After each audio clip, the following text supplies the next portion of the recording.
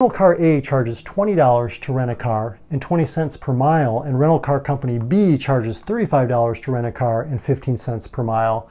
In how many miles will the cost to rent from either company be the same?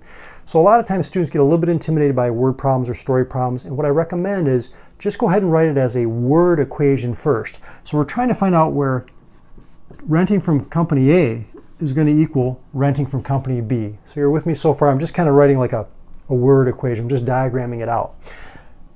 Company A, they charge $20, that's a flat rate, right? Plus 20 cents times M, the number of miles, or you could use the variable X, either way.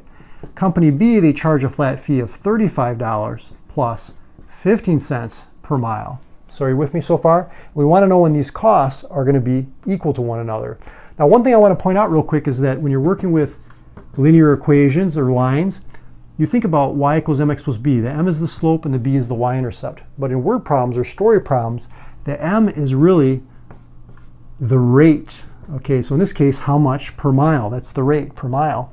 And the b, that's the initial condition. That's the starting amount. So instead of the y-intercept, like you normally uh, think of b when you're graphing lines, you think of b as the starting amount or the initial condition.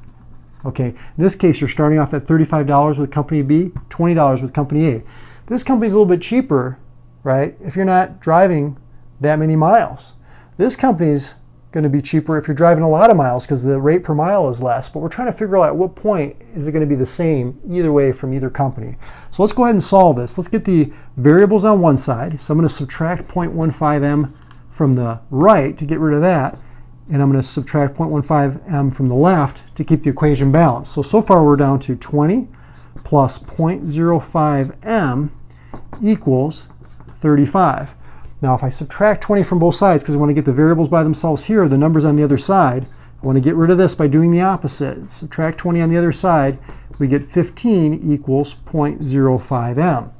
Now we want to get m by itself. The opposite of multiplying by 0.05 is to divide both sides by 0.05.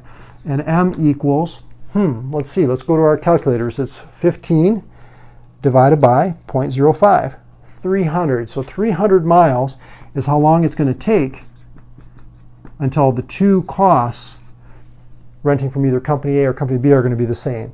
So again, this is a typical linear equation word problem or story problem that you'll see in your algebra class or pre-algebra class. I hope this helps you understand a little bit better.